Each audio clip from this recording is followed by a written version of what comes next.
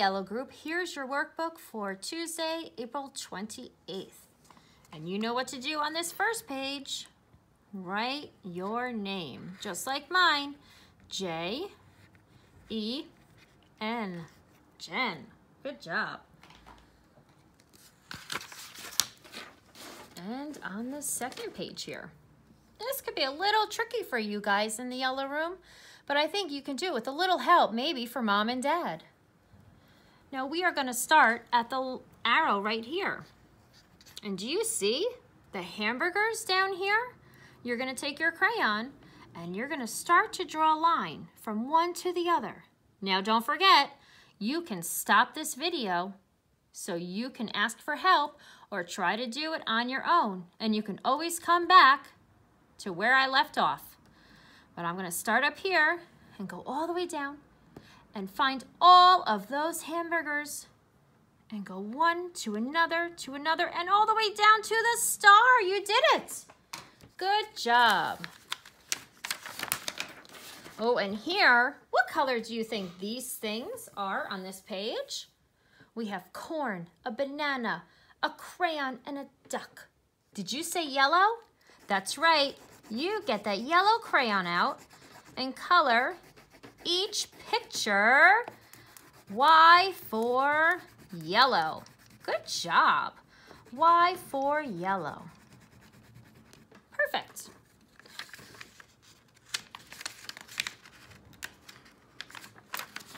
Ooh, and look at this shape.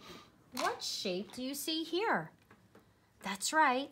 This is a oval. And you're going to take your red crayon and come down here and stay on those dotted lines and trace the ovals. One, two, and three. And if you want to come back up here to the page and you can color in the big oval up top. Good job. And our last page is about counting. Now this one, you might need a little help counting from mom and dad also, and that's okay. Here we have the numbers 0, 1, 2, 3, 4, 5. Now look here. Look how many birds are in this picture. One, two, three, four. That's right. Now, do you see where number four is? There it is. Look, they helped you with this one. So you're going to draw a line from the birds all the way to number four because there are four birds. Now, the next one, oh, uh-oh, where did all the birds go in this one? Are there any birds? No. So that would be zero. So where is that zero? Here it is. So draw a line from here, because there's no birds, to the zero. Good. And look at this one. This one has one little bird on it. Do you see where number one is? That's right, there it is. So draw a line from this bird all the way to number one. Good job. And you might need a little help with this. That's okay. Ask mom or dad for help.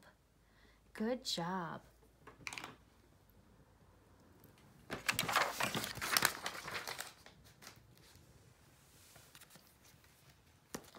All right, so now our book for Tuesday is Eight Silly Monkeys. There were eight silly monkeys jumping on the bed. One fell off and bumped his head. Mama called the doctor and the doctor said, no more monkeys jumping on the bed. There were seven silly monkeys. They were skipping on the bed. One fell off and bumped his head. Mama called the doctor, and the doctor said, No more monkeys skipping on the bed. Then there were six silly monkeys tumbling on the bed. One fell off and bumped his head. Mama called the doctor and the doctor said, No more monkeys tumbling on the bed. Five silly monkeys were dancing on the bed. One fell off and bumped his head. Mama called the doctor and the doctor said, No more monkeys dancing on the bed.